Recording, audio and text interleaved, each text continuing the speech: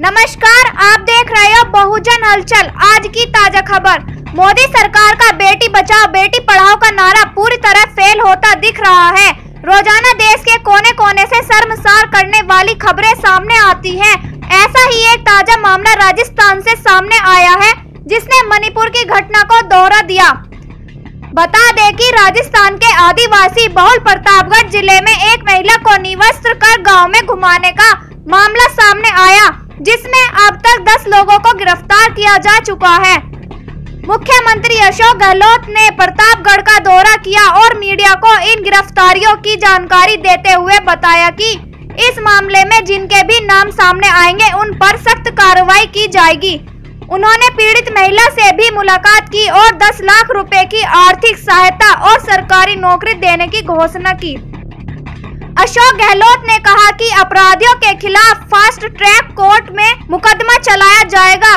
बता दे कि प्रतापगढ़ के धरियावद की इस घटना के दौरान लोगों ने इसका वीडियो बनाकर सोशल मीडिया पर पोस्ट किया, जो वायरल हो गया। पुलिस का कहना है कि उन्हें 1 सितंबर की रात 8 बजे वीडियो के ज़रिए घटना की जानकारी मिली।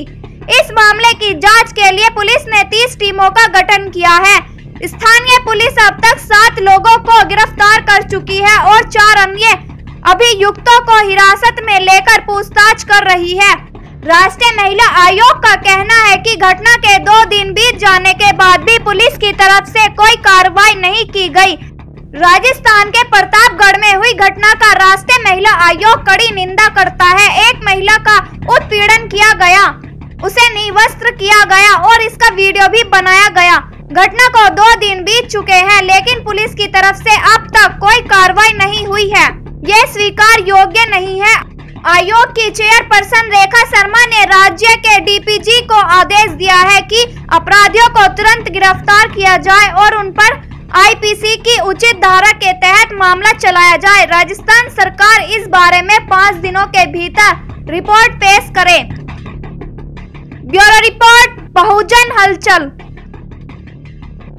अगर आप चाहते हैं गरीब हर वंचित इंसान की आवाज़ आप तक पहुँचे तो हमारे चैनल को सब्सक्राइब करें और बेल आइकन का बटन दबाना ना बोले देखते रहिए भजन न्यूज़।